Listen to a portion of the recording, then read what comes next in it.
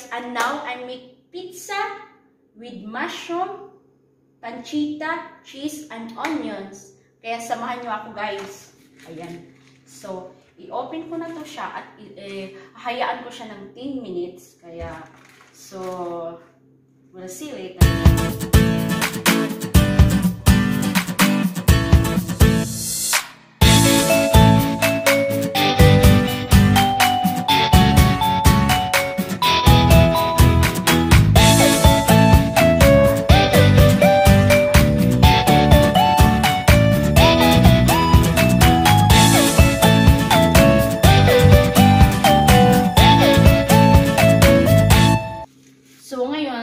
Natapos na yung 10 minutes. So, ngayon, ang gagawin ko ay lalagyan ko na siya ng tomato. Ganun. Kailangan. Lahat yan lalagyan ng mga ganun, ha?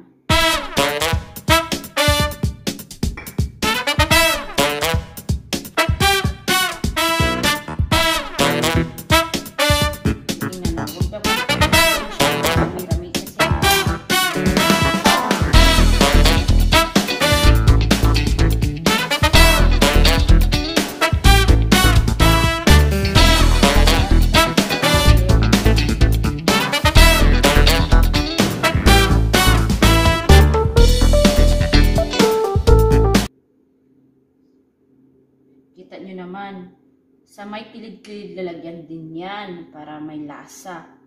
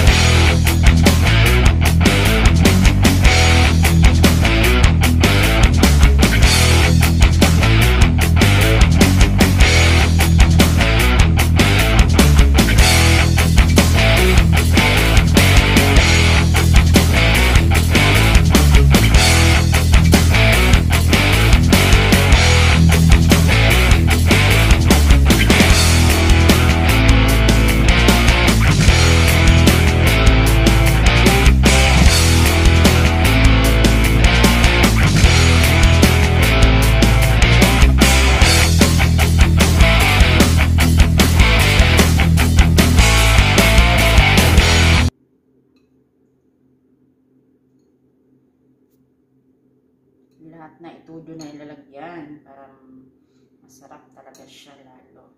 Yan. Kahit ano-ano lang ilalagay nyo ha. Kung gusto nyo ng mga sp- spicy, di ilagay nyo. Basta may lasa. Masarap din yan. So ngayon, ilalagay ko naman ito. Onions. Yan. Lagay ko yung onions sa lahat na to.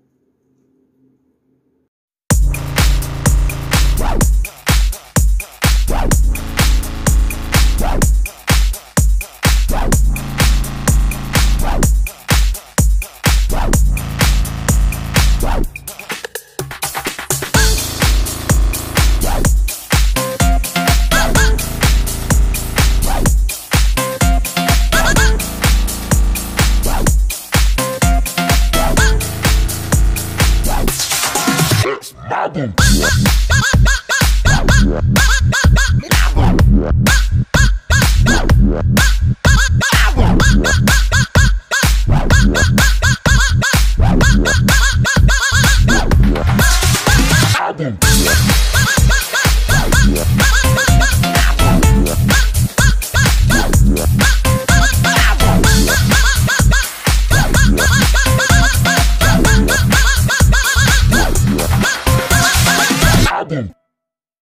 Gagawin ko naman, ay lalagyan ko siya ng kunting oil lang ha. Kunti lang talaga yung i-ano mo lang, i-masmasan, masmasan ba yun? Yung ganun lang oh, yung ganun lang siya. Huwag masyadong mada, ma, marami. Kasi may cheese na kasi siya. Kaya, kunti lang, as in kunti lang. Nilalagyan ko madami. Feeling ko kasi kunti lang. Para sa akin kulang pa. So, ngayon okay na. Nilagyan ko na siya ng oil. the last is oregano. Super. Ito talaga yung malasa-lasa. Super. Pinaka-last to. Oregano. Yan. Kita niyo. So guys, tandaan niyo yung cheese pala, dapat hindi nakaano dito sa linya, dapat nakaganon lang siya para pag naluto na siya, perfect yung pagkaluto niya, yung hindi makalat yung ano niya. Diba? Let's see.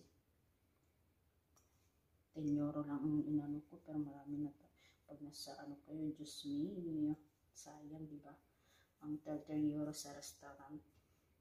Dito na lang tayo sa 10 euro.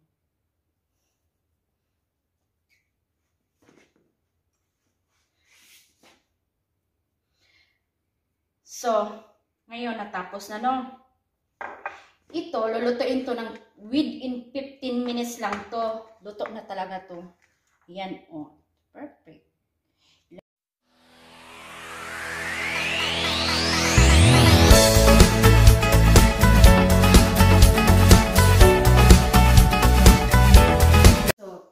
Tapos na siya, no? Kunin ko na siya, ha? So, it's pizza, it's ready. Anyway, guys, nakalimutan ko palang sasabihin sa inyo. Ito, yung ano yung degrees na is 180. Pero cooking, it's 15 minutes. That's it. And so, my pizza is super yummy.